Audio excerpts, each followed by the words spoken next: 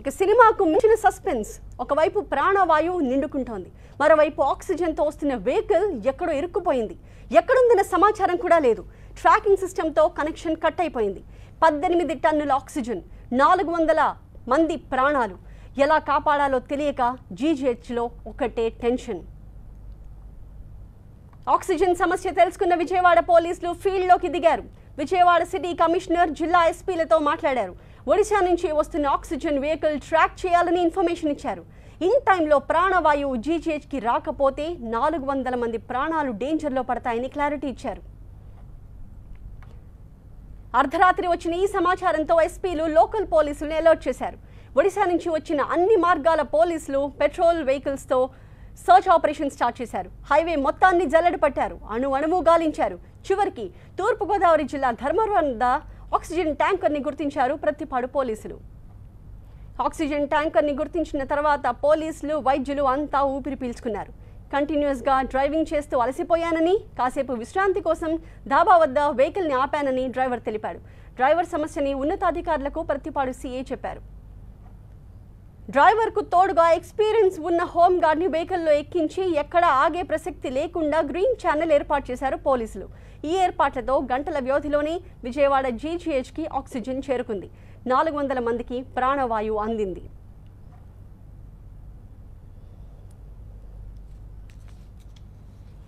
అర్ధరాత్రి వచ్చిన సమాచారంతో క్షణాల్లో స్పందించిన పోలీసుల్ని డీజీపీ అభినందించారు. మరోసారి ప్రజాసేవలో బాధ్యతగా వ్యవహరించి మానవత్వాన్ని చాటుకున్నారని అప్రిషియేట్ చేశారు.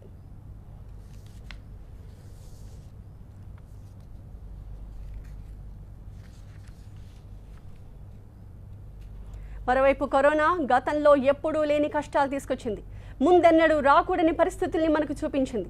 బాధితుల కష్టాలు వర్ణనాతీతంగా మారుతున్నాయి. సాయం అందుకోలేని స్థితిలో ఉన్నవారు రోడ్డుపైనే పడిగాపులు కాస్తున్నారు. తూర్పుగోదావరి జిల్లాలో ఇలాంటి పరిస్థితిని ఎదుర్కొంది ఒక బాలిక. ఆమెని హాస్పిటల్కి చేర్చి పెద్ద మనసు చాటుకున్నారు ఒక ఎస్ఐ.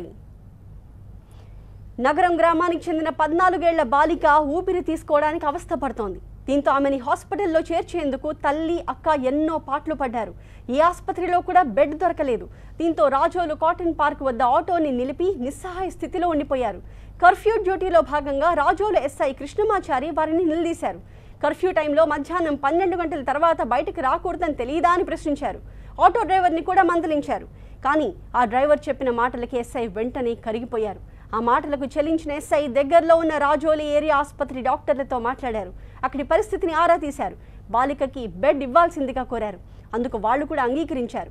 బాధిత పద్నాలుగేళ్ళ బాలికని హాస్పిటల్లో చేర్చుకున్నారు.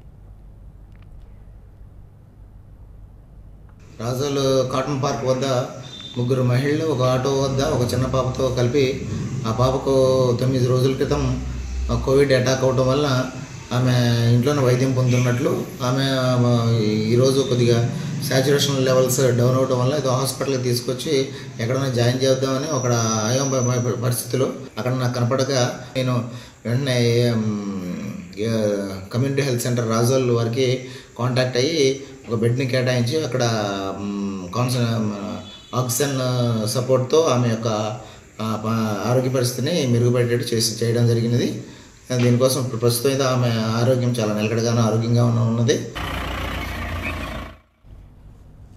దీంతో బాలిక తల్లి ఎస్ఐకి రెండు చేతులు జోడించి నమస్కరించింది. ఊపిరాడని స్థితిలో ఉన్న బాలిక ప్రాణాలు కాపాడారంటూ ధన్యవాదాలు తెలిపింది. సాయం చేయడానికి ఎవరూ ముందుకు రాకపోవడంతో ఎస్ఐ కృష్ణమాచారి చూపిన మానవతా దృక్పథాన్ని అందరూ అభినందిస్తున్నారు.